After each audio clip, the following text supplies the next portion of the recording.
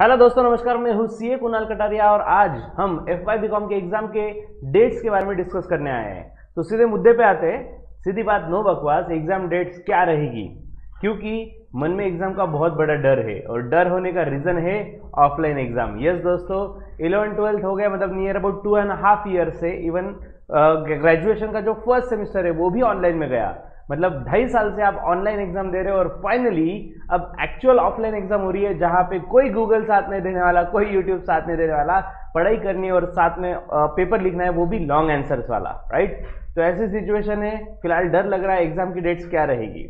अब तक जो अपडेट्स आपने सुने होंगे, उनके हिसाब से टेंथ जून के आसपास आपकी एग्ज़ाम स्टार्ट होगी। ऐसा एक टेंटेटिव डेट था वो, ठीक है? लेकिन आ, मेरे अंदाजे से दोस्तों पहले बात आपको क्लियर कर दूँ कोई सर्क्यूलर या नोटिफिकेशन के हिसाब से मैं आपको डेट्स नहीं डिक्लेयर कर रहा हूँ जस्ट मेरे हिसाब से मेरा जो ओपिनियन एग्ज़ाम डेट के बारे में वो मैं आपको बताने जा रहा हूँ ठीक है? सो दोस्तों फ़र्स्ट वीक ऑफ़ जून और we can say ten June से एग्ज़ाम स्टार्ट होने वाली थी लेकिन अब तक नियर अबाउट अभी 22 जून में आ चुका है ठीक है?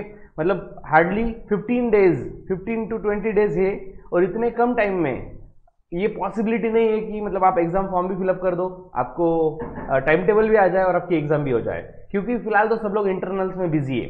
Near about most of the colleges में फ़िलहाल इंटरनल एग्ज़ाम सबमिशन असाइनमेंट ये सब कुछ चल रहा है। और मंथ एंड तक ये चलने ही वाला है, ठीक है? सो अगर मंथ एंड तक ये होगा तो क्या दस दिन में फाइनल एग्ज़ाम होगी?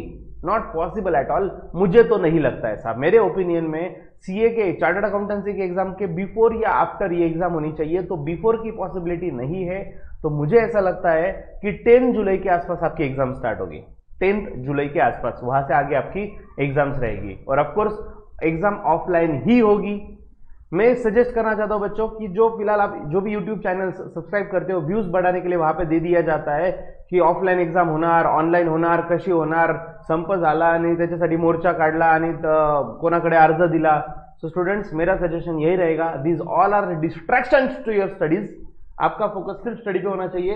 एग्जाम होने वाली है ऑफलाइन ही होने वाली है और उसमें आपको प्रूफ करना है कि ऑनलाइन में जो जोरदार मार्क्स लाए थे ना आपने वो आपके गूगल के मेहनत के नहीं, आपके मेहनत के थे, ये प्रूफ करने का ये टाइम है। सो अभी नहीं तो कभी नहीं। और अभी अगर आपका स्टडी नहीं हुआ है, आपको टेंशन आ गया है स्टडी के लिए तो नेक्स्ट वीडियो उसी के लिए दोस्तों, जिसमें डिटेल में आपको सोल्यूशन दिया गया है, अगर अब तक स्टडी नहीं किया तो आप क्या करें? So don't forget to see next videos and share this videos with your friends subscribe करना ना बाय बाय